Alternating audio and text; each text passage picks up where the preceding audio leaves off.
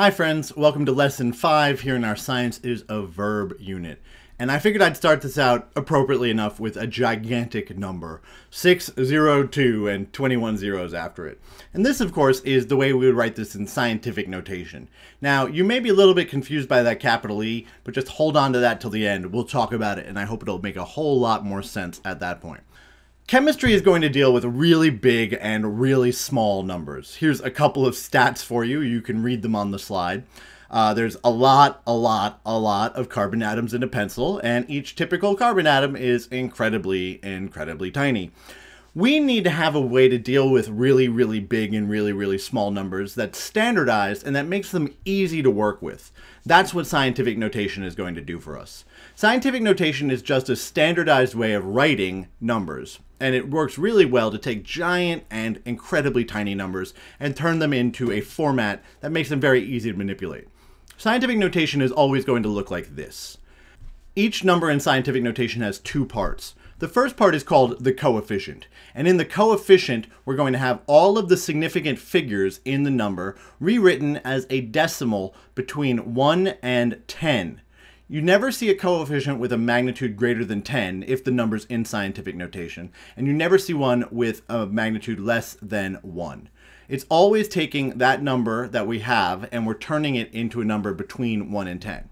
The other part of the scientific notation is the exponent. This represents the number of times we would need to multiply our coefficient by 10 in order to turn it back into its non-scientific version. 6.02 times 10 to the 23rd is that number that we started with, rewritten in scientific notation. Big numbers are always going to have a positive integer as their exponent. The power of 10 is always going to be greater than 0. Here are a couple of examples from page 11 in your packet. Take a moment and look at them. You definitely want to be able to go back and forth between scientific notation and regular notation for big numbers and small numbers. Page 11 gives you a couple examples for the large numbers that you'll probably have to deal with at some point in your life as a scientist. Small numbers are always going to have a negative number as their exponent.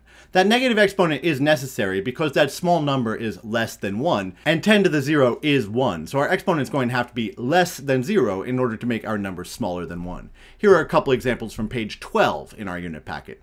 Here are some examples from page 12 of going back and forth between the regular notation for the number and the number in scientific notation. If you've talked about scientific notation before now, that's probably where you've left it. We're actually going to go in and look at a couple of other things. One of the nice things about working with exponents with common bases, in this case base 10, is that we can do interesting things with the exponents. When we multiply two exponents that have a common base, we actually just wind up adding them together to get the product of that multiplication. You can see this written algebraically here. 10 to the a times 10 to the b is going to be equal to 10 to the power of a plus b. And when we divide common base exponents, we're going to wind up subtracting them from each other. You can see that written right here. When we add or subtract common base exponents with the same exponent, that exponent does not change. So 10 to the a plus 10 to the a is going to wind up as 10 to the a. Now, of course, none of this deals with the coefficients. So for the coefficients, we're still going to have to do whatever mathematical operation we need to in order to figure things out. When we multiply and divide, my advice is to deal with the coefficients first and then work on the exponents. Let's look at an example to see what I'm talking about. Here's a multiplication example from page 23 of our unit packet. We're going to multiply 4.70 times 10 to the fifth by 7.3 times 10 to the negative third. I've actually written it out to help you see what's going to happen. We're going to wind up multiplying 4.70 by 7.3, and then we'll deal with our exponential calculation. A multiplication of 10 to the fifth by 10 to the negative third is going to be equal to 10 to the power of 5 plus negative 3. Once we do our coefficient math, we're going to get 34.31. And 10 to the 5 plus negative 3 is going to be equal to 10 to the second. But of course, we're not actually done here. We have to apply those rounding rules that we talked about in our prior video on rounding. When we multiply two numbers, our final answer can only have as many significant figures as there are in the fewest significant figures in our terms. 4.70 has three significant figures, and 7.3 has two significant figures. So our answer can only have two significant figures.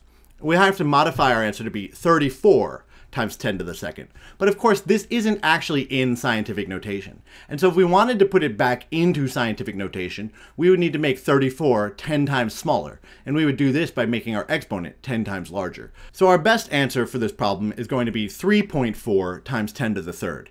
Take a moment, look at this problem, see if it makes sense, and if it doesn't, make sure that you write down any questions that you have.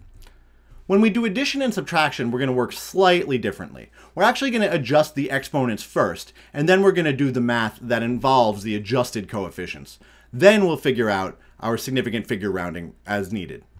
Let's look at this example from page 23 in our unit packet. We're going to add 5.6 times 10 to the 7 with 4.6 times 10 to the 8th. The first thing that we need to do is adjust one of our terms so that we have a common exponent in base 10. What I chose to do was to adjust my second term. I could have just as easily adjusted my first one. It really doesn't matter, as long as we wind up with two of the same powers of 10. Notice that since I had to adjust my exponent in my second term, I also have to adjust my coefficient. I made my exponent 1 power of 10 less, which means I had to make my coefficient 10 times larger. Once I do that, I can add these numbers together. It'll be 5.6 plus 46 times 10 to the 7th. When I add 5.6 and 46, I'm going to get 51.6 times 10 to the 7th power. But remember, this isn't the best answer. When we add two terms together, our answer can only be as precise as our least precise term. 46 is precise to the ones place. 5.6 is precise to the tenths. Our answer needs to be rounded off to the ones place. This is going to become 52 times 10 to the 7. And of course, we're still not done if we're asked to put our number back into scientific notation because our number is not currently in scientific notation. I'm going to have to make 5.2 10 times smaller, which means I'm going to have to make my exponent 10 times larger. And so the best answer that I can record for this operation is going to be 5.2 times 10 to the 8th power. Take a moment and write down any questions that you have, and when you're ready, we'll move on. Before I leave you, I just wanted to give you one last calculator tip. Most calculators have a shortcut that you can use to deal with powers of 10. This is usually signified with a button that either says capital E on it or capital double E together. That E stands in for times 10 to the. This is because you might get a little bit bored or you might be prone to make a mistake in typing in times 10 to the and working out your parentheses each time. Here's an example written out for you so you can see how this works. You could take 1.356 times 10 to the 37 and you can rewrite that as 1.356 e to the 37. That e stands in for times 10 to the. You can write your answers like this wherever you want. You can write them on quizzes and tests, homework, any place you want. So if you really want to, go for it. I certainly don't want to stop you. Of course, if you're not comfortable doing that, if you still need time to work on this before you really feel comfortable, feel free to just write it out in the full way and it will never be a problem. Just be careful putting in full scientific notation into your calculators because of course, the more numbers you put in, the more likely you are to make a mistake. Thanks so much for watching this. Let's make sure that you can do the following things here at the end of this video. Make sure that you can convert between a full number and its scientific notation equivalent, both for very big and for very small numbers. And then make sure that you can use numbers in scientific notation for the four basic arithmetical operations, by which of course we mean addition, subtraction, multiplication, and division. If you have any questions, you can always get in touch with me either by leaving a comment right below this video or looking at the contact information in the info field for this video. Thanks again for watching. I really appreciate it. Take it easy.